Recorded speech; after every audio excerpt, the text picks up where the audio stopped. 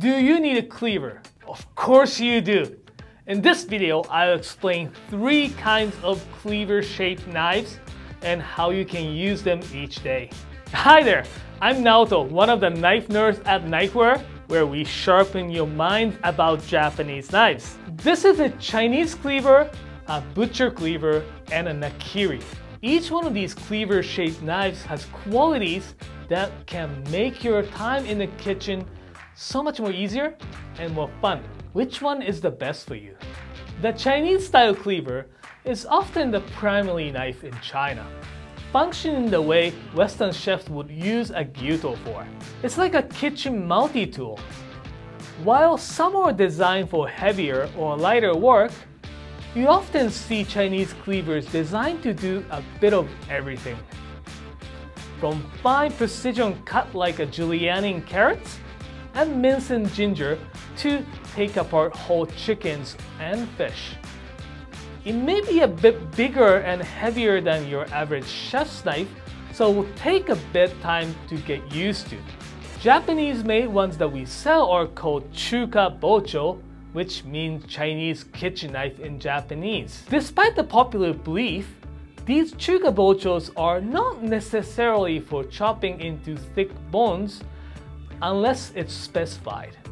Functionally, most chefs hold the Chinese cleaver like by the blade with two fingers along the side to help guide the blade. The butcher's cleaver is the muscle of the group, made for the heavy-duty jobs the other knives can't handle. It's like an axe.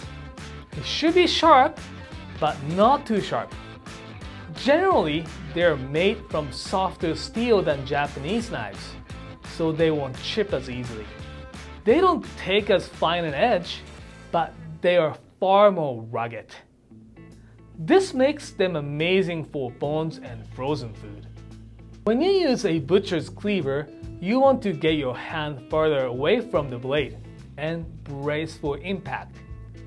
Generally, you are swinging it with some force, so Safety is important here. Keep your left hand out of the way and get to work. The Nakiri is your daily driver in the kitchen. Perfect for making fine cuts and handling a huge mountains of prep. The Nakiri was the primary kitchen knife in the Japanese household well before Santoku was invented.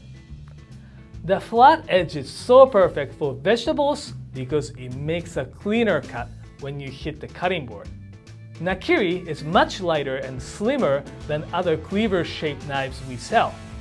So you can make fine dice and julienne or dice a 50-pound bag of potatoes for hash browns without hurting your wrist. Grab your nakiri by the blade and pinch it gently between your index finger and thumb.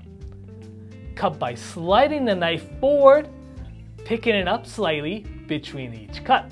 With a little practice, you'll master this technique and turn into a chopping machine. So, as you can see, each cleaver has specific use that you can put to use based on the kind of work you do in the kitchen. What kind of cleaver do you think would be the most useful to you? Leave a comment below. Thanks for watching. If you'd like to learn about the knife that is combination of nakiri and chef's knife, check out this video about the Kiritsuki.